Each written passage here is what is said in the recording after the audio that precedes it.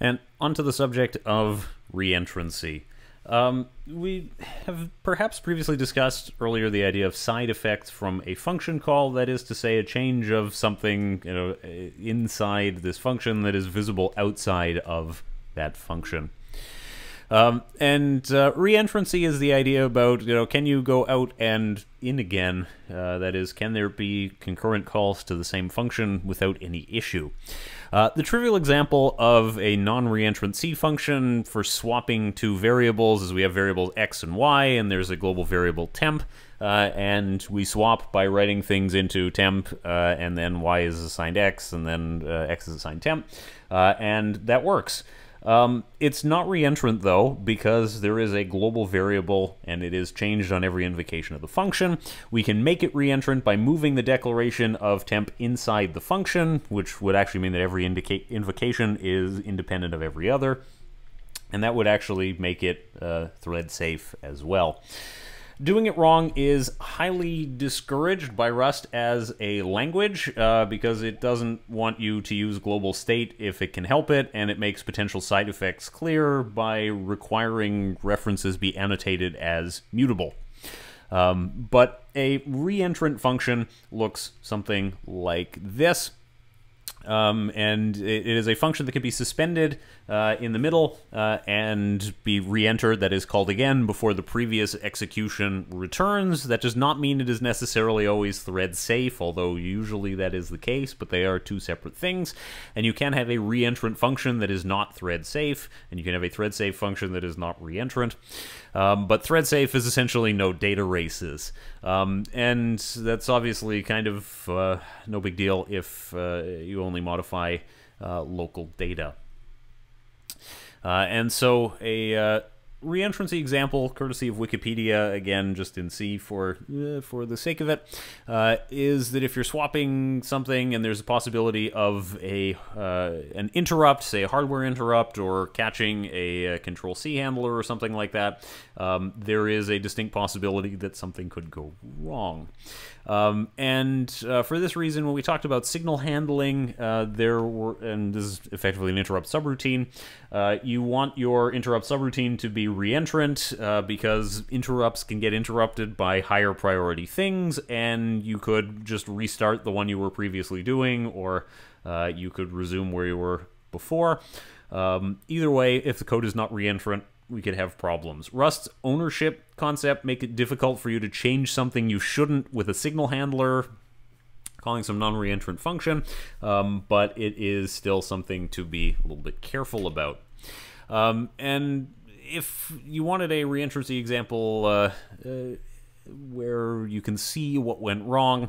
Uh, if we are swapping A and B and uh, we have uh, initial values of 3 and 4, and there's an interrupt subroutine which changes some values, uh, so x is assigned 1 and y is assigned 2, and swap things, then we can end up with final values that are not the same as their expected values.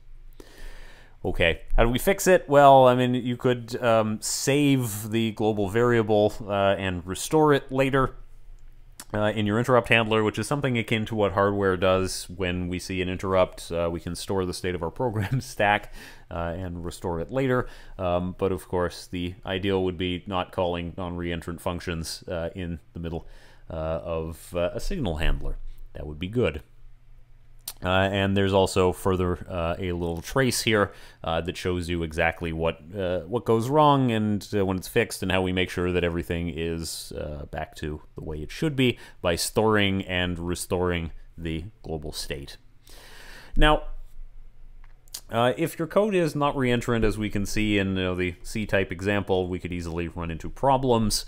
Um, but that might make you think that um, something that is going to have a side effect is bad. Uh, and functional programming languages, Scala, Haskell, that kind of thing, lend themselves nicely to be parallelized because a purely functional program has no side effects, uh, and it does make it a lot easier to parallelize such a program, uh, which could potentially give you a good speed up. Uh, if a function is for some reason impure, that is to say it does have side effects, it has to indicate in some languages in its function signature. And that makes it easy to identify what things uh, are, well, hard to parallelize or can't be parallelized. Uh, I mean, the, the notion of purity in this sense is not implying any sort of moral judgment on your code. Uh, I, I, would like to point that out.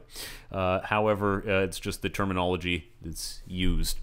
Uh, and um, basically, if we have purely functional code, then it resembles the thing on the left where it is there's input and there's output, and whatever happens in the middle remains in there. Uh, if we have procedural programs, C is a procedural programming language, there are potentially arbitrary side effects, uh, and Rust is really no different uh, in, in this regard. Uh, and uh, if if you listen to Joel about this, uh, he would say, well, without understanding functional programming, you can't invent map reduce. the algorithm makes Google so massively scalable. The terms map and reduce come from Lisp and functional programming, and MapReduce is, in retrospect, obvious to anyone who remembers from their 6.001 equivalent programming class that purely functional programs have no side effects and are thus trivially parallelizable. Uh, you know, the map and reduce steps could easily be uh, farmed out to different machines, uh, and we could do a lot with that. Uh, and uh, for object-oriented programming, I, I, like to uh, say getBrain.damage, uh, which is a, a, very Javaism, if you ask me. Um, but object-oriented programming gives us bad habits in terms of thinking in a functional style. Um, if in a functional style you need a computation result, you have to wait, but you are trying to write your code like a mathematical function, so like f of x, y, and z pr produces a result a, b, and c. Uh, but we don't do that in a lot of object-oriented programming. We make a lot of void methods, and in functional programming it doesn't work because, well, there's inputs and there's outputs, and if a function returns nothing, what does it do? Um, so, you know, that doesn't that kind of thinking doesn't make sense. Uh, and part of the problem with object oriented programming is we have a lot of state uh, of various objects spread out over many different places. If you have lots of different objects, you have a shipment, and a shipment has containers, uh, and containers have packages, and packages have goods. All of those things have their own individual state, and if it's all mutable, there is not very much you could do to parallelize some of these things. However, um, you know there can be side effects, um, and uh, we usually want to avoid them, but they're not necessarily bad. Um, one potential side effect is printing to console. It's something that you want. You can't really do that reentrantly, and it does have some observable state outside the call to that function because anybody who's looking at the console can see what was printed there. Uh, but you obviously wouldn't write a programming language in which you couldn't write anything to the console, nor would you want to use one if such a thing existed, because, well, you know, sending data to the console is important as a debugging thing uh, and is also just an important part of you know, how your program runs. So side effects will exist even in functional programming. The goal is just to minimize them. Uh, and there exist these kinds of things in C++ uh, and other uh, similar languages as well. Uh, it was added in C++ 11, uh, in C++ 17, which admittedly does not have a lot of support. Uh, out there in the world, there are parallel and vectorized algorithms, and you can specify some execution policy, and the compiler will do it, which takes some of the headache out of your hands, and you can get it to undertake some things like sort, reverse, is he keep um, for each n, reduce. Those kinds of things uh, are uh, given to you intrinsically in the language. So, yeah, uh, as I mentioned, um, certain things are inevitably uh, going to have side effects, and you know, printing is one of them. Um, restarting a print routine would result in doubled characters on the screen. You know, it's not the end of the world. Nothing terrible happens, but uh, it's not what you want.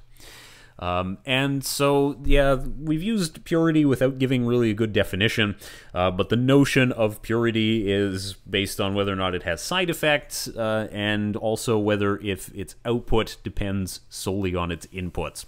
Uh, and pure functions should be implemented as thread safe and reentrant, uh, so that you can call them you know, as many times as you want from wherever you want, interrupt them, restart them uh, without any sort of issue, and uh, still always get the same result.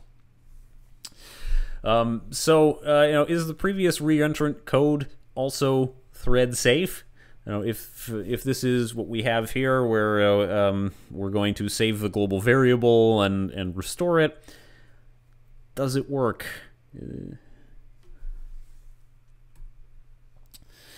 Um, well, no. Uh, if we look at the final values uh, as compared to the expected values, we can see they're not the same. b is 3 in the final values when it should be 1. Uh, and although t is 1 and it should be undefined, you know, uh, is less important because t is just sort of your global temporary state. Um, but we would still consider this to be kind of wrong. Uh, and if you wanted another definition of a thread safe function, it is a function whose effect, when called by two or more threads, is guaranteed to be as if the threads each executed the function one after another in an undefined order, even if the actual execution is interleaved. Uh, again, if you've taken a databases course, you might picture something similar to this uh, when we talk about transactions, uh, that if transactions have to be serializable, uh, then it means the outcome is as if the transactions happened in a specific order sequentially. So first transaction A and then transaction B, or first transaction B and then transaction A, even if they both ran concurrently, if their operation was interleaved. Uh, and if you have thread safe functions, it doesn't matter if they run in an interleaved fashion. There is an order in which you can say it's as if it happened in that order, uh, and that gives you some reassurance that it is in fact correct. Um, Rust does not in, uh, enforce in any way a functional style. Uh, you don't have to use it if you don't want, um, but it does give you some hints in that direction. For one thing, it discourages mutability of data, which is sort of functional. Uh, mutability is uh, you know, a big in inhibition to parallelization, and functional programming languages discourage mutability, and so does Rust. Uh, and so there is uh, a little bit of overlap in that regard. Um, there is internal mutability where you have you know a structure and you can change things in you know the vector that is pointed to by that structure, but it is somewhat discouraged, uh, which also is sort of functional-ish, uh, and it points you. Uh, towards uh, making arguments to functions be either immutable references or an ownership transfer, which prevents concurrency uh, and otherwise uh, points you down this road that you don't have to take. I mean, you can make everything mutable if you wanted, and Rust wouldn't stop you. Although the compiler will tell you sometimes this is mutable and it doesn't have to be. Um, but in good Rust programming style, you would avoid things being mutable when they don't have to be, and because things are immutable by default, if you change your mind about something, the compiler will say, no, wait a minute, you said this wasn't mutable, uh, and you might then rethink what you're doing accordingly.